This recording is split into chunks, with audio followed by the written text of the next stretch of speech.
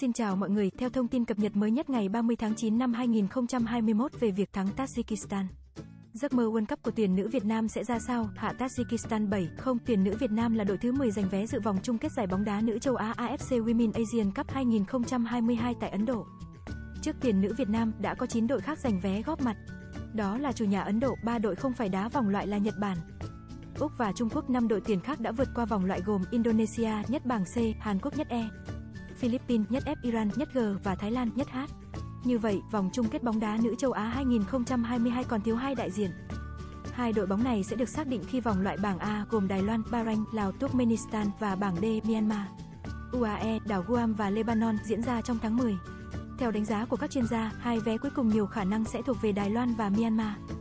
Nhìn vào các đội đã giành vé góp mặt ở vòng chung kết bóng đá nữ châu Á 2022 có thể thấy sự áp đảo của khu vực Đông Nam Á với bốn đại diện là Việt Nam, Thái Lan, Philippines và Indonesia. Trong số này, việc Indonesia giành vé được xem là bất ngờ khi họ không được đánh giá cao khi rơi vào bảng C với Singapore. Iraq và Triều Tiên, tuy nhiên, do Iraq và Triều Tiên rút lui nên bảng C còn lại hai đội là Indonesia và Singapore. Hai đại diện bóng đá Đông Nam Á này phải đá hai trận để xác định đội nhất bảng cùng tấm vé đi tiếp. Trong cả hai trận, Indonesia đều thắng Singapore 1-0, một bất ngờ khác ở vòng loại giải bóng đá nữ châu Á 2022 chính là Iran. Dù bị đánh giá thấp khi nằm cùng bảng G với Bangladesh và Jordan nhưng tuyển nữ Iran bất ngờ vượt mặt đối thủ được đánh giá mạnh hơn Jordan để đoạt ngôi đầu bảng G và lần đầu giành vé dự giải đấu châu lục. Vòng chung kết giải bóng đá nữ châu Á 2022 sẽ diễn ra từ ngày 20 tháng 1 đến 6 tháng 2 tại Ấn Độ. 12 đội tuyển nữ xuất sắc nhất châu Á sẽ chia làm 3 bảng đấu.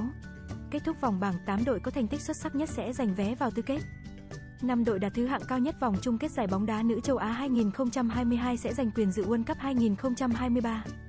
Do Úc là chủ nhà của World Cup 2023 nên châu Á có 6 vé dự giải đấu này.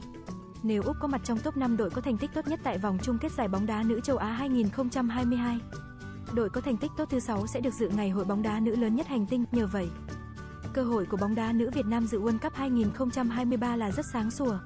Nếu muốn giành vé chính thức, thầy trò huấn luyện viên Mai Đức Trung cần chen chân vào bán kết.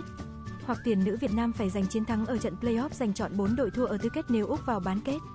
Theo đánh giá của các chuyên gia, Nhật, Hàn Quốc, Trung Quốc và Úc sẽ giành 4 vị trí đầu tiên ở vòng chung kết giải bóng đá nữ châu Á 2022.